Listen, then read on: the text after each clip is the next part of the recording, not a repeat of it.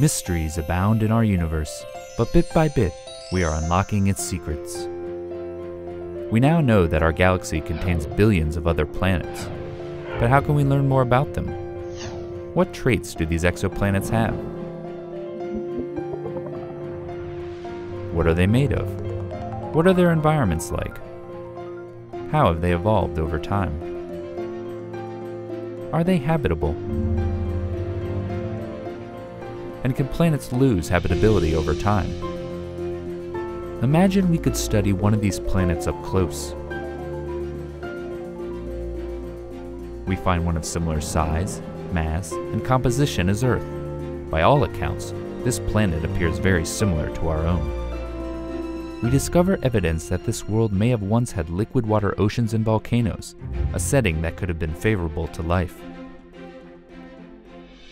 But over time, something drastic happened to this environment. This planet's sun grew brighter and hotter, increasing the temperature here to the point that the oceans boiled away. And then gradually, the volcanic gases created a thick atmosphere with clouds of sulfuric acid. That once friendly environment was gone. But all is not lost.